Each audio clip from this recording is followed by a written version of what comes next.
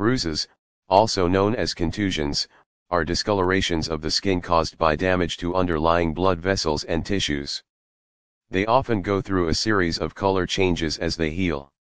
The common symptoms of bruises include discoloration, initially, bruises may appear red or purple due to the broken blood vessels leaking blood into the surrounding tissues.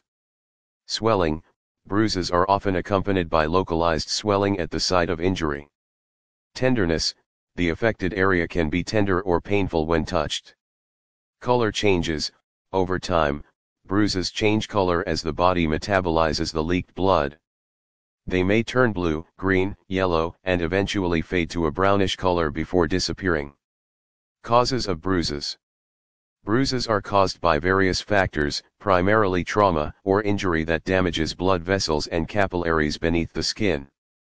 Common causes of bruises include Impact or trauma, a direct blow, bump, or injury to the skin and underlying tissues can lead to bruising. This could be from accidents, falls, sports activities, or even medical procedures.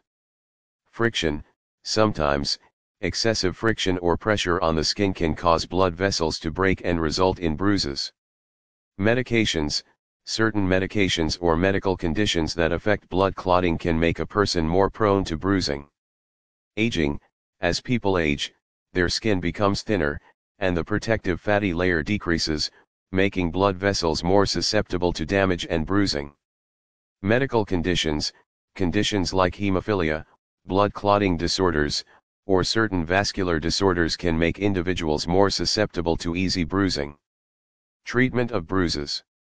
Most bruises heal on their own over time, but there are several steps you can take to promote healing and alleviate discomfort. Rest, give the injured area adequate rest to prevent further damage and promote healing. Cold compress, applying a cold compress, ice wrapped in a cloth, to the bruised area within the first 24 hours can help reduce swelling and pain. Elevation, elevate the injured area, if possible, to help reduce swelling.